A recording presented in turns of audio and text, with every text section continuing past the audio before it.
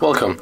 If you want to connect Baseus Encok W07 earphones to your iPhone, at the first uh, we have to go for the settings of the iPhone, then reach the Bluetooth, activate Bluetooth, and then open charging case of our earphones.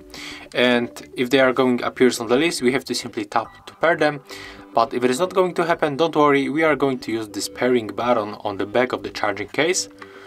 So just wait and just take a look what is going to happen. Let's count to the 5 and, and after that we can use this button. So 1, 2, 3, 4 and 5. Okay, as you can see they are not here. So just uh, rotate the case, then click and hold this button. Click hold. When the indicators change on the blue color and start blinking, we have to release that key. Still keep holding, it's on the green color. Okay, right now it is on the blue, so release the key then we have to turn off and turn on Bluetooth on our iPhone.